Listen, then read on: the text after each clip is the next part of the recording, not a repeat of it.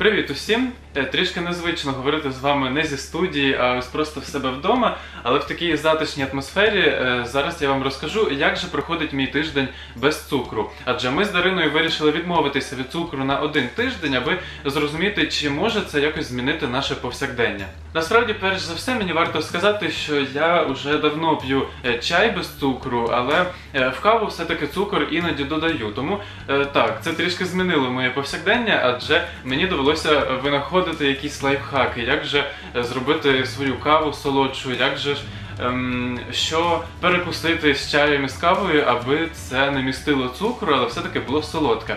Е, Тож зараз я вам розкажу, як же я заміняв якісь тістечка, цукерки і печиво.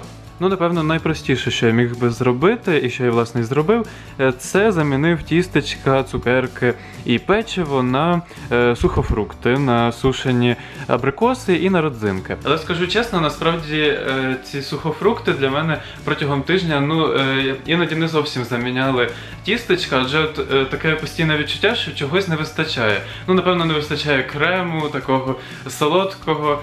Я вирішив приготувати оладки на сніданок. Думаю, ця страва знайома багатьом. Е, Але цього разу я цукор класти не буду. Окрім усіх звичних продуктів, покладу туди банани, або можна покласти взагалі будь-які фрукти, порізати їх. Е, І думаю, ця страва точно має стати солодкою. Зараз перевіримо.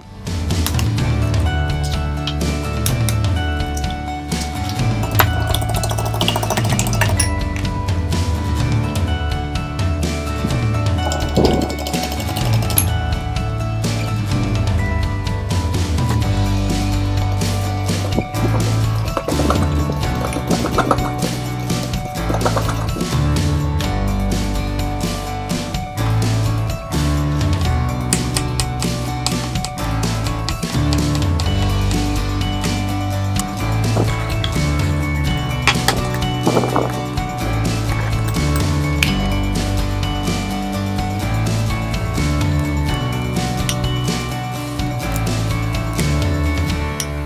Що ж, минуло якихось 10-15 хвилин, і мій сніданок уже готовий. Оладки без жодного цукру.